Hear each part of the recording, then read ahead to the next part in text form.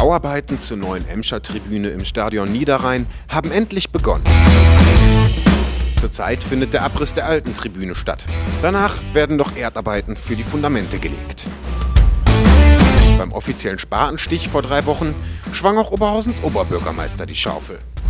Das Niederrhein-Stadion ist, wie der Präsident von SC Rot-Weiß Oberhausen zu Recht sagt, ein Kultstadion, aber auch Kultorte, Kultobjekte müssen erhalten und weiterentwickelt werden. Deswegen freue ich mich, dass es uns jetzt gelingt, mit dem Neubau einer Tribüne einen Beitrag äh, für eine zukunftsfeste Weiterentwicklung des Stadions zu leisten. Das ist, glaube ich, etwas, was alle Fußballfreunde von Rot-Weiß Oberhausen freut, aber auch die Stadt insgesamt.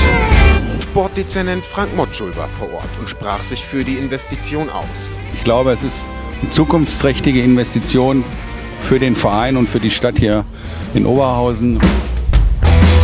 Von RWO-Seite bedankte sich Vorstand Herbert Jöring bei allen Verantwortlichen. Es hat ja lange gedauert, aber jetzt geht es tatsächlich wirklich los. Und äh, es wird auch, denke ich, und ich bin davon überzeugt, wenn die Tribüne steht, weiterhin das schönste Stadion der Welt zu sein.